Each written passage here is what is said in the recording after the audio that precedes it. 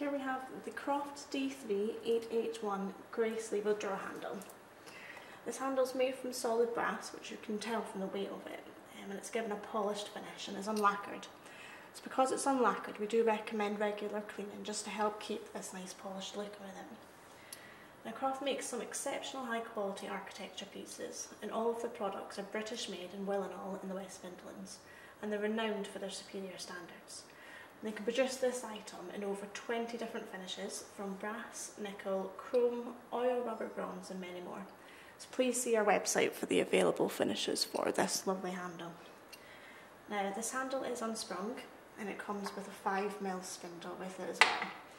The length of the handle from here to here is 120mm so it is, it is a really good decent size handle.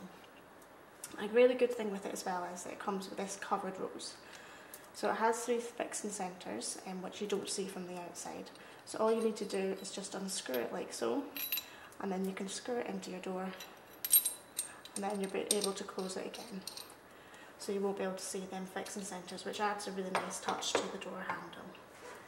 It comes with all the screws and fixings that you need um, and they also come matching in your choice of finish as well so you don't need to worry about them. So it really is a beautiful door handle and it will look great in any home.